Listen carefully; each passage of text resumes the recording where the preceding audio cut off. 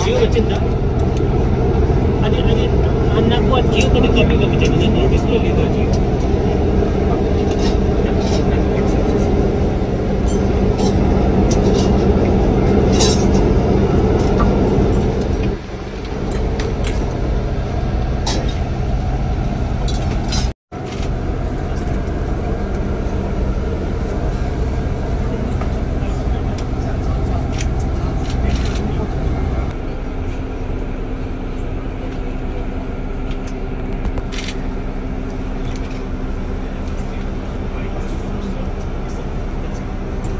¿Qué es.